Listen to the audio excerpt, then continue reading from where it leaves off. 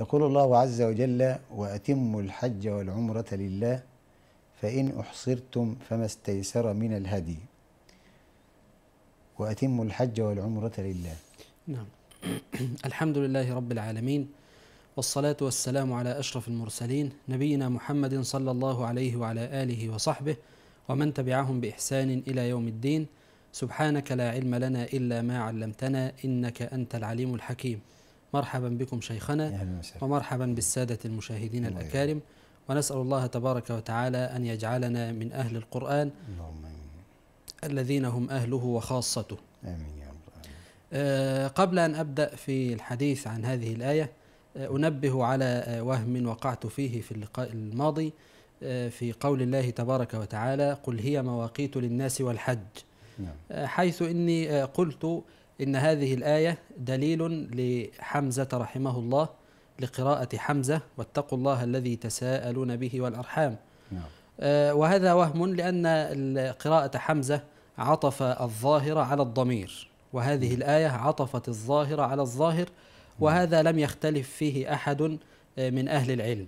نعم. لكن قراءة حمزة لها شواهد كثيرة آه، من القرآن الكريم ومن شعر العرب ونثرها. اتقوا الله الذي اتقوا الله الذي تساءلون به والأرحام. آه، لها شواهد كثيرة. آه، من شعر العرب ونثرها. إن شاء الله حين نأتي آه، عند عندها في موضعها بإذن الله في مطلع سورة النساء نفصل القول فيها بإذن الله تبارك وتعالى. نعم. آه، في قوله تبارك وتعالى وأتموا الحج والعمرة لله. هذا حديث عن الركن الخامس من أركان الإسلام. وقد سبق أن ذكرنا أن سورة البقرة تسمى بفسطاط القرآن.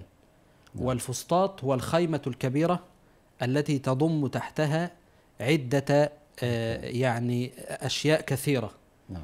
فكأن سورة البقرة هي خيمة الشريعة التي تضم تحتها أركان الإسلام والإيمان والإحسان. نعم. فيعني مثلا سورة البقرة حدثتنا عن شهادة أن لا إله إلا الله وأن محمد رسول الله. حدثتنا عن الصلاة الصلاة والزكاة الصيام. والصيام حدثتنا عنه. نعم. وتتحدث الآن عن أحكام الحج. نعم. وكذلك حدثتنا في آخرها آمن الرسول بما أنزل إليه من ربه والمؤمنون. كل آمن بالله وملائكته وكتبه ورسله. هذه أركان الإيمان. الإيمان. وفي أثنائها حديث عن الإحسان. نعم. ثم السورة تتحدث عن أحكام العبادات من أحكام البيوع والتجارات والدين والطلاق والزواج وال- وغير ذلك من أحكام كثيرة آه، تخص المجتمعات المسلمة وغير المسلمة. نعم. فلذلك تسمى بفسطاط القرآن الخيمة الكبيرة التي تحتها أشياء كثيرة.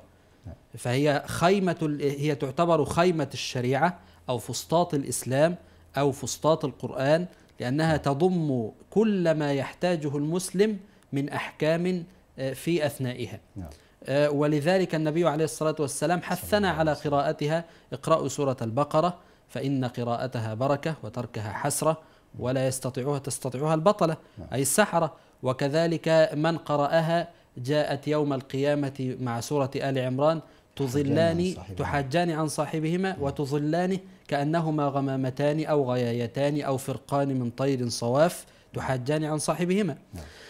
في هذه الآية في قوله تعالى وأتموا الحج والعمرة لله. هذه جملة فعلية نعم. مستقلة. المقصود بها أحد معنيين. إما أدوا الحج والعمرة كاملتي الأركان والشروط شروطها وواجباتها وواجباتها يعني أدوها أد أدوهما أداء تاما. نعم. أو أن أتم هنا بمعنى ال ال الافتراض والإلزام والوجوب.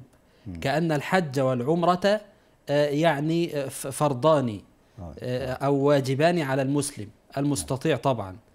آه، وطبعا الوقف هنا وأتم الحج والعمرة لله وقف كافي على اعتبار أن الجملة قد انتهت في إعرابها وفي معناها. نعم. فالوقف هنا كافي. كافي. وأتموا الحج والعمرة لله. نعم.